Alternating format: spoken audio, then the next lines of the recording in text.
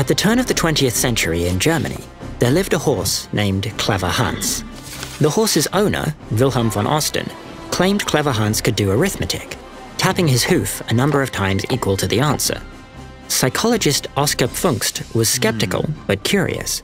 Pfungst decided to test Clever Hans in different situations, sometimes with different people asking questions, and sometimes with Clever Hans wearing blinders.